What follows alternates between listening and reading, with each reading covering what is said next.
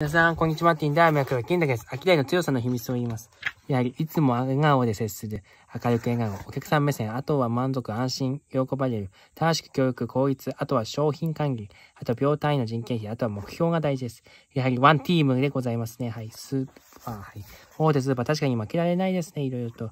低価格志向、生産食品プラス一般食品の大量かつ定番注意の品揃え、24時間営業、まあるいは長時間営業、セーフサービス、あとは品揃え惣菜のいろいろ毎日利用することが多いですね。ただコロナの影響で大変なもんでございます。やはり利便性は大事です。地域密着型というスーパーというビジネスモデルが一番でございます。やはり地域密着型介護も同じでございます。はい。大変なもんでございます。接客力と、あとはまあ、口コミ力、専門力がやはり強みでございます。あとはまあ、コストについて、あとは幸せという点にもいろいろ勉強しなきゃいけないです。というわけで、秋代の強さでした。いかがかなバイバーイ。